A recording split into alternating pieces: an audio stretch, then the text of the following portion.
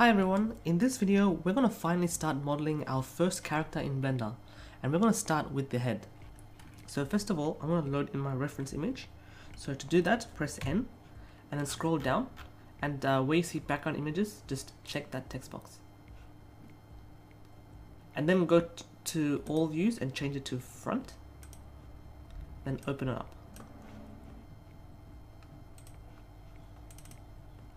Alright, um, so now when you go to the front view, hit numpad 1 and also hit numpad 5 to change to orthographic view. Uh, you get you'll finally see your reference image. This is a reference image that I drew myself. Uh, I've added the link in the description below if you want to download for yourself. You're free to do so and use it in your own projects. Um, it's a CC0 license, so uh, feel free to do whatever you want with it. Um, I'm also going to load this reference image on the side view as well, so in the right view when you hit numpad 3. So I'm going to press add image again, change this to right view, and then just load in that same image. Just like that. Okay, um, I'm, I'm not going to use any of these objects, so I'm just going to select all of them by pressing B box select and then X delete. Alright, so now I'm just going to reposition uh, my reference image. So maybe from the front view, I'll move it on the the X axis I'm going to move it in such a way that the blue line is right in the center. You can press shift to control to fine grain control um, the movement. And if you can't do that then you can just manually type. Somewhere like that. And then from the side view uh, side view doesn't really matter so much but I'll just uh, put it round about the middle of the, the head. The middle of the cranium I guess. Just like that Okay, so now we're ready to start modeling. So I'm just going to drag out this window on the uh, top right corner. And then from this view, I'm going to press 3 to go into right view. Press NT to remove the toolbars on the side if it's already open. Um, and then do the same here, press NT to hide the, the toolbars. First of all, before I actually start modeling anything, I better discuss how I'm going to approach modeling this character. A character with good topology has loops around the eyes, around the bridge of the nose, apologies for my poor drawing, and also around the lips. So if you're able to get a good edge flow around the eyes, the bridge of the nose, and the lips, you can be assured that your character has good topology. In other words, your character will bend and deform quite nicely when animated. Of course, we will be using poles over here. And poles are mostly used to redirect our edge flow. We will add in a loop around the nose as well. So over the bridge of the nose, right under the nose as well. Also from the side view, I will be adding a loop around the ears as well. And the whole idea is that it follows the structure of our facial muscles. But uh, yeah, in general, they help to reduce poly count and they also help to make your models look clean and presentable. Okay, so let's begin. So first of all, we're going to start with adding the loops around the eyes. So I will explain everything that I'm doing as I go. So all you have to do is press Shift A, Mesh, Circle. Straight away hit T before you click anything else and change the vertices to 12. We don't want to have uh, a high number of polygons to begin with. Uh, the key in 3D modeling is to always start low poly and then build your way up to high poly. That way it makes everything easy and manageable to work on. So anyways, um, once you've done that, tab into edit mode and um, move your circle up around the eye area and press RX90 like so. And then scale it down. And just also we want to save half the amount of time in modeling this face. So I don't want to do the other eye as well as doing this eye I, I want to skip that. So let's just uh, that helps to speed up our workflow by two. So go to the modifiers uh, panel in the properties window press add modifier and select mirror. Uh, click clipping if it isn't clicked already.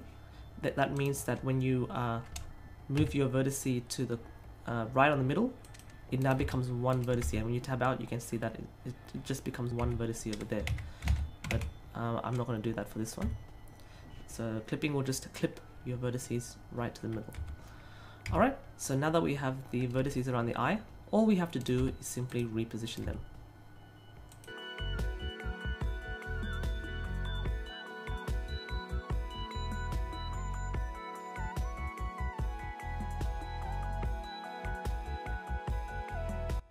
Once you've done that, also take into account the right view as well. So I want to right click the top middle part of the eye, also the bottom, and then I'm going to enable proportional editing. So just go over here and press connected. Uh, alternatively, you can press Alt O, that'll toggle it on and off. And what this will do, it will allow multiple vertices to move along with the ones that you selected, and you can control the fall off. So which part of your model will have influence when moving. So it proportionally moves the rest of your rest of the vertices that are around the vicinity of the ones that you selected. So I'm going to control on the y-axis by hitting Y. Let's just move it to somewhere like there. Let's select the end over there and let's move it a little bit back. Something like that. And just a little bit of anatomy 101. This corner of the eye doesn't go as far back as this corner of the eye. Generally, it's this corner of the eye is the one that goes furthest back. Just a bit of anatomy 101 for you. Uh, now I can keep tweaking this and making it look perfect, but uh, I'm not going to. So um, I would suggest that you take the time in ensuring that this is looking good. From this point of view, it looks okay. It looks uh, presentable. So I'll stop. I'll leave it at that. So once you've done that, uh, select everything by pressing A press A again if it's if everything was deselected. Uh, press E to extrude, and then S to scale up, like so, and then click in place. And now I'm just going to turn off proportional editing. Then I'm going to press SZ. And what I'm going to do now is I'm, I'm just going to cover the entire eye area.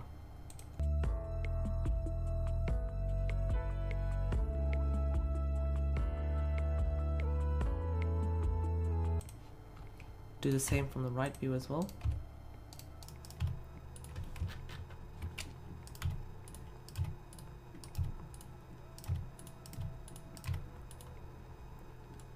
Uh, since we're working in low poly, press Z if you can't see through the model. Yeah, so I know I'm, it, it does appear slow initially, but uh, bear with me, it will start to become fast once we uh, start adding in the other loops and then it's just a matter of filling in towards the end. Okay, so this point, I'd say the eyes looks pretty good. So to finish off the eyes, all I'm going to do is press Control R to add a loop around the eyes over here, like so. And then in right view, just press G Y to move it back, and that will give you your eyelids. So by doing that, I'll obviously need to pull these vertices out.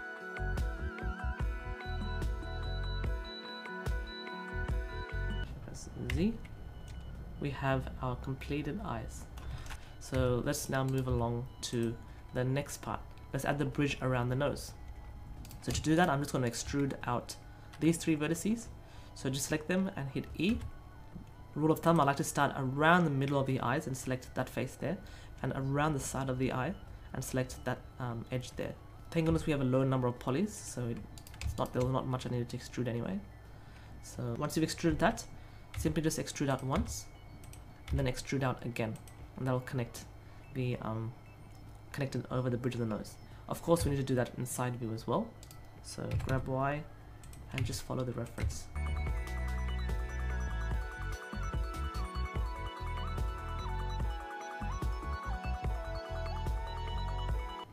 Okay, so we've got something that looks like that. I might move it here. And note that we've added a pole over here. One, two, three, four, five. That's perfectly fine because I don't assume there'll be much deformations going on around there. Uh, I'm also going to add a pole over here. So one, two, three, four, five. Um, because we're now going to start to redirect our edge flow so that it goes around the bridge of the nose.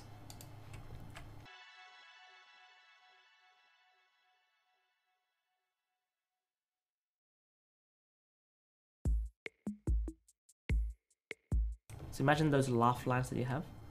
Try to model it in a way so that it, it sort of follows that pattern.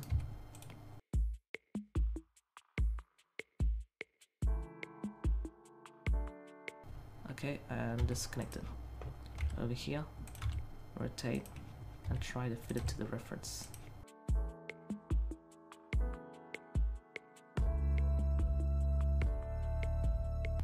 Oops, I've accidentally clipped it. So if it, once it's clipped, you can't unclip it.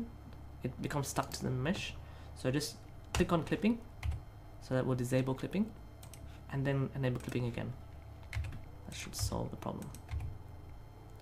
I think we've got way too many uh, vertices there, so I'm just going to delete that edge loop. Anyways, the point is you just want to have this flow over here like that.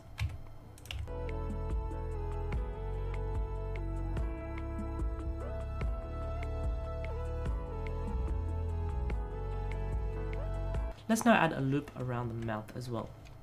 To do so, I'm just going to zoom out, click outside, and press Shift A circle. Sorry, circle. By doing so, I don't I don't make the mistake of putting the circle somewhere here and then accidentally clipping uh, the circle on the midway point. So let's Control Z that. Press RX 90. It remembers our last saved option in the T panel, so it won't ask you to uh, ask you to specify how many vertices because it knows uh, I need 12. So I'm just going to box select by pressing B and then left click dragging half of it and then just delete it. Now select all of this, uh, scale it down. And let's now zoom back in. And just stick it where our lips is going to be. Like there. And then it's just a matter of now putting everything in place. Again just follow the reference. Like that. Might just add in an extra one here. So I just selected both of them, press W and then subdivide, and just give it a little bit more shape. I think, I think that's good enough. So we now have the lips. Of course, never neglect the right view. I'm going to enable proportional editing for this.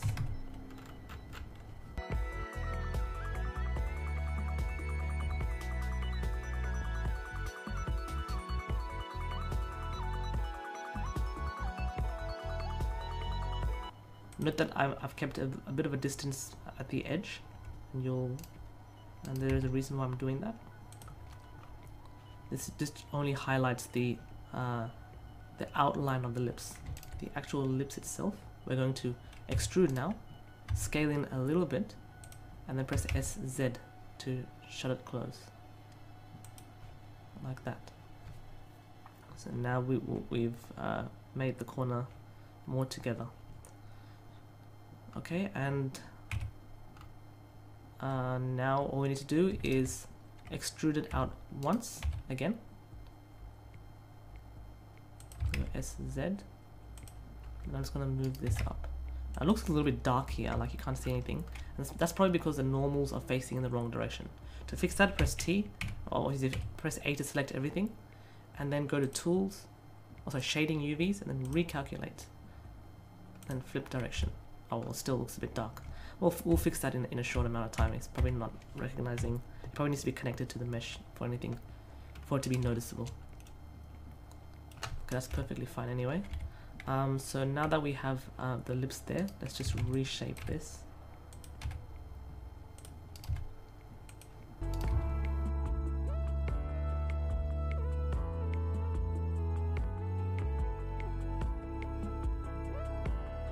Let's now add uh, the bridge around the nose.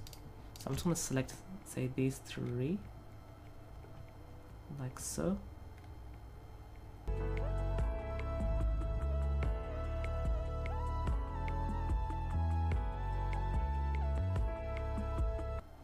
Okay, so now I'm going to add in another pole over here. So when, when I do that, I need to also modify this view as well.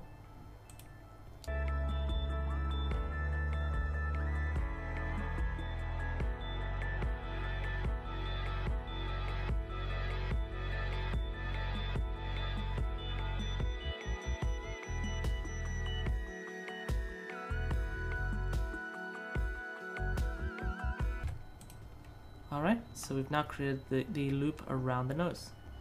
Finally, we want to create one more uh, loop around the lips. So to do so, I'm just going to connect these faces.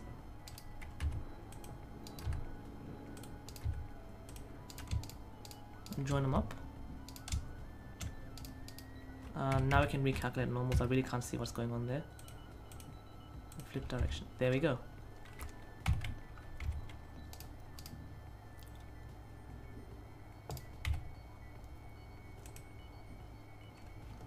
And move these out.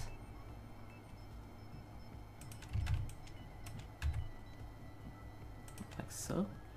We will just drag out another one over here. Scale it up. Drag like that. Oh, actually I might just add one more loop over here. Something's not even. Fill this up. My idea is I want to try to get a pole over here right on the corner of the nose where rarely any deformation will go on and now we can fill these up so we've still ensured that we have loops around the lips so that's perfect I guess now it's just a matter of connecting everything up.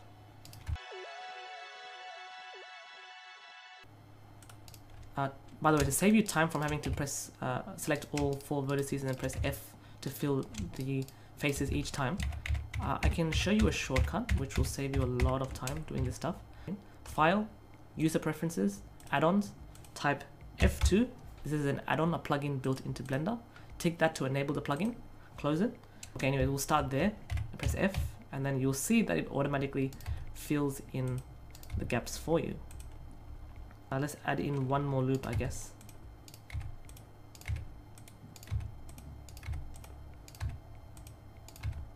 So add in a loop here, adding a loop here by pressing Control R and just cutting in a loop there, and simply just add and fill this for the face, and continue to fill the rest.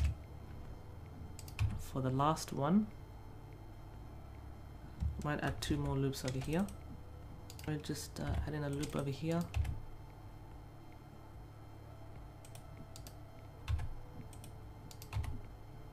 Fill these four in. Fill, fill, and then fill.